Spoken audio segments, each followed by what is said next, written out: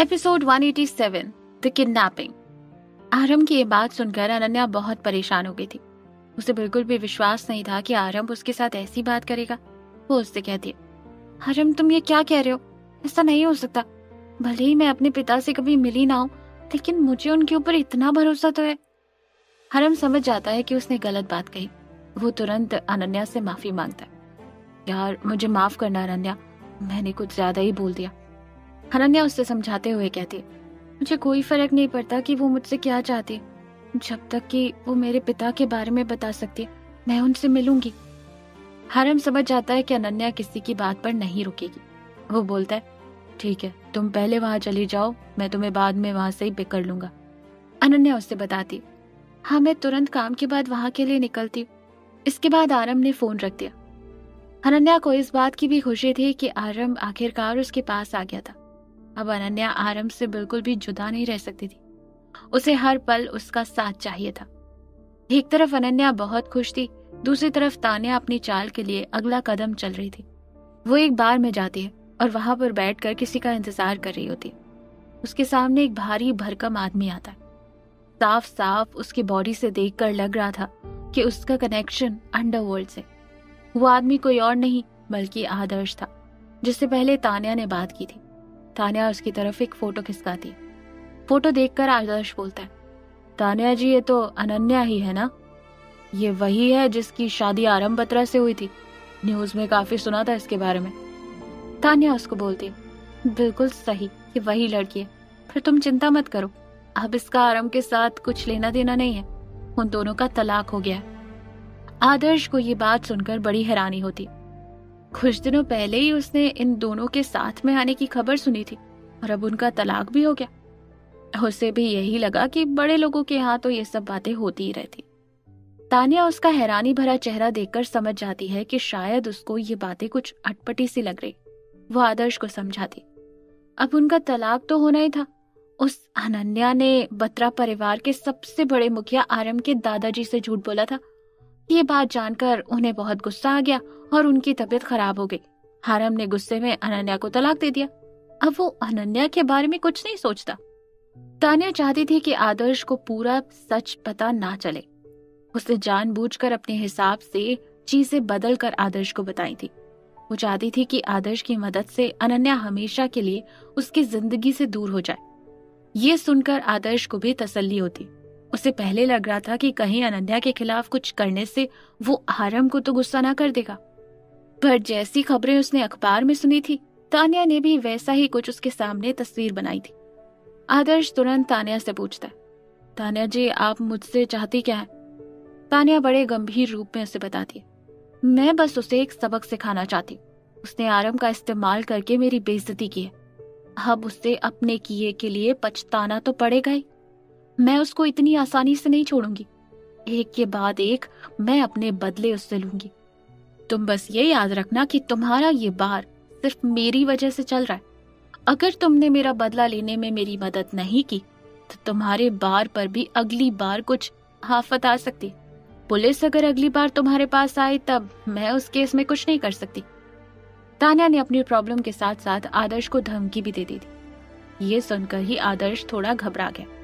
उसने तुरंत तानिया से कहा अरे तानिया जी आप कैसी बातें करें? मुख्यमंत्री की बेटी को हम थोड़े ही ना नाराज़ कर सकते। भला आपकी मदद करने से कौन इनकार कर सकता है? आप चिंता ना करें। इस लड़की ने जितना आपको तकलीफ़ पहुंचाई है उससे दुगनी तकलीफ़ हम इससे पहुंचाएँगे। ये सुनकर ही तानिया के चेहरे पर मुस्कान आ गई। उसने कहा हम्म, तो क्यों ना अनन्या की बर्बादी आज रात से ही शुरू हो जाए? जितना मुझे पता है आरंभ अभी शहर के बाहर है। ये मौका तुम्हारे लिए सबसे सही पड़ेगा। आदर्श को लग रहा था कि कहीं तानिया अनन्या को मरवाना तो नहीं चाहती, इसलिए वो घबराते हुए कहता है तानिया जी, मैं बस आपसे ये कहना चाहता था कि मैंने लोगों को जान से मारना छोड़ दिया, मैं सिर्फ़ इसको गंभीर रूप से चोट पहुँचा सकता हूँ। तानिया ने भी तुरंत उसको बोला, मैं भी नहीं चाहती कि तुम इसको जान से मार दो, मैं बस यही चाहती हूँ कि तुम इसकी इज़्ज़त लूट लो। एक बार वो बर्बाद हो जाएगी तो आरंभ उससे खुद ब खुद नफरत करने लगेगा। वो उसके लायक नहीं बचेगी। ये सुनकर आदर्श समझ गया कि तानिया क्या चाहती थी। वो बोलता है, ठीक है, मैं अपने कुछ आदमी भिजवा कर ये काम करवा दूँगा। तानिया जी, आप चिंता मत करें, बहुत ही जल्द आपको खुशखबरी सुनने को मिलेगी। दूसरी ओर, अनन्या रक्षा के साथ डिनर करने के लिए तैयार हो जाती। उसे रक्षा की बातों पर भरोसा नहीं था। उसे अभी तक शक था कि रक्षा ज़रूर कुछ न कुछ छुपा रही है। वो रोड पर टैक्सी का इंतज़ार कर रही थी। इस वक्त काफ़ी रात हो गई थी। अनन्या को काफ़ी देर से कोई टैक्सी नहीं मिल रही थी। अनन्या ने सोचा कि उसे थोड़ा आगे चलकर टैक्सी मिल जाएगी। वो एक शॉर्टकट रास्ते से गुजरने लगी। तभी एक वैन अनन्या का पीछा करने लगती है। वैन में मौजूद एक आदमी बोलता है, बॉस, ये तो देखने में बहुत अच्छी है। बड़ी भोली भाली और मासूम लड़की लग रही है। अब पता चला कि आरम बत्रा जैसे खतरनाक आदमी को इसने कैसे अपनी तरफ़ आकर्षित कर लिया।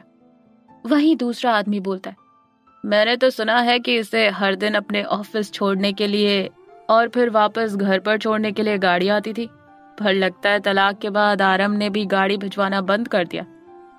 आदर्श वैन के पीछे से सारी बातें सुन रहा था। उसने बीच में कहा, उसकी तरफ़ गाड़ी ले लो। उसे जल्दी से उठाकर किडनैप कर लो, हमारे पास ज़्यादा वक्त नहीं है। अनन्या धीरे धीरे गली से गुजर रही थी। उसे उम्मीद थी कि इस रास्ते के बाद वो टैक्सी स्टैंड तक पहुँच जाएगी और फिर वो रक्षा से जल्द ही मिल सकेगी। उसे नहीं पता था कि रास्ता उसकी ज़िंदगी का सबसे बुरा रास्ता निकलेगा। अनन्या के दिमाग में इस वक्त सिर्फ़ और सिर्फ़ उसके पिता का ख्याल था। इसी की वजह से उसने और कुछ भी सोचना वाजिब नहीं समझा। एकदम से उसने देखा कि पीछे से एक वैन आई और उसमें से एक आदमी ने बड़ी बुरी तरह से अनन्या को अंदर खींच लिया। अचानक से वो वैन गायब हो गई। वहाँ मौजूद कुछ लोगों ने ये बात देख ली थी। सबको हैरानी हुई कि अचानक से ऐसा कैसे हो गया। एक आदमी ने तुरंत पुलिस को फ़ोन मिलाया और कहा सर, हीरा नगर के पास किसी औरत को किडनैप कर लिया गया वो गाड़ी अभी रास्ते में ही जा रही है। अनन्या गाड़ी के अंदर अपने हाथ पैर मार रही थी। वो हर कोशिश कर रही थी ताकि वो इन बदमाशों से बच सके। उन लोगों ने उसके मुँह पर कपड़ा बाँध दिया था।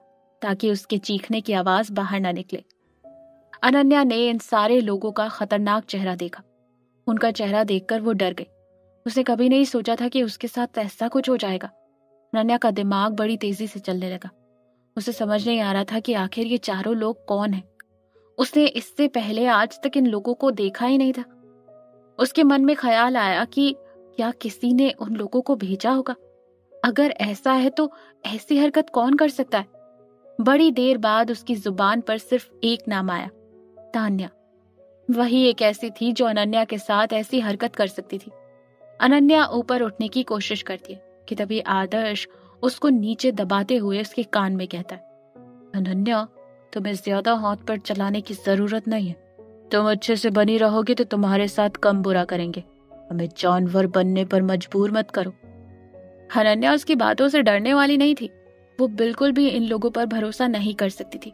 वो बार बार अपने हाथ पैर चला रही थी, ताकि वो यहाँ से निकल सके। वो इनके सामने हार नहीं मान सकती थी। उसने और तेज़ी से चीखने की कोशिश की। वो इन लोगों से लड़ना चाहती थी। ये देखकर एक आदमी को गुस्सा आ गया और उसने कहा, अरे पागल लड़की, समझ नहीं आ रहा हम क्या कह रहे हैं? तुझे चुप रहने के लिए बोला था ना? तू इतना फड़फड़ा क्यों रही है? तू ऐसे नहीं मानेगी। मैं जानता हूँ तू कौन सी भाषा से हमारी बात सुनेगी। ये बोलते ही वो आदमी बड़े जोरों से अनन्या को एक तमाचा मारता है। अनन्या के गाल लाल हो जाते। उस आदमी के हाथों के निशान उसके गाल पर छप जाते। उसे लगा कि एक थप्पड़ से इस लड़की को कुछ नहीं होगा। उसने फिर उसको थप्पड़ मारा। आदर्श ने उसका हाथ रोका और उससे कहा बार बार मारना बंद करो। अगर तुम इसको ऐसे ही मारते रहोगे तो इसके साथ मस्ती कैसे करोगे? ये सुनते ही अनन्या घबरा गई। उसे समझ नहीं आ रहा था कि आखिर इस आदमी के ये बोलने का मतलब क्या था। ये लोग उसके साथ आखिर करना क्या चाहते थे? वो उसके साथ ज़बरदस्ती करना चाह रहे थे? वो तुरंत गाड़ी के दरवाजे की तरफ़ बढ़ी। आदर्श ने तुरंत उसका हाथ पकड़ लिया और उसे वापस खींच लिया। उसने बोला, बड़ी तीखी है तू। तेरे हाथ पैर बहुत चलते। तेरे साथ में इन लोगों को भी बहुत मज़ा आएगा। अनन्या की आँखों में साफ़ साफ़ गुस्सा नज़र आ रहा था। वो हर पल उनसे लड़ रही थी। और कोशिश कर रही थी कि वो इन लोगों के चंगुल से बाहर निकल पाए। अनन्या बड़ी जोरों से आरम का नाम पुकार दिया उसकी ज़ुबान में भले ही कपड़ा लगा हो, लेकिन उसके मुँह से आरम का नाम साफ़ साफ़ सुनाई दे रहा था। आदर्श उसके करीब जाकर बोलता है आरम तुझे बचाने के लिए नहीं आने वाला। वो तो अब तुम्हारी कोई फ़िक्र नहीं करता। उसे तुम्हारी कोई परवाह नहीं।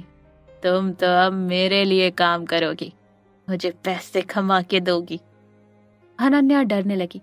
वो समझ गई थी कि इस आदमी के दिमाग में कुछ और ही चल रहा है। वो फिर से अपने हाथ पैर चलाने लगी। उसकी ऐसी हरकतें देखकर आदर्श हंसने लगता है। उससे बोलता है, तुम ये सोच रही होगी ना कि, भला, तुमने ऐसा कौन सा गलत काम किया जिसकी वजह से तुम्हें यह सजा मिल रही है? तुम इसके लिए अपनी किस्मत को कोसो।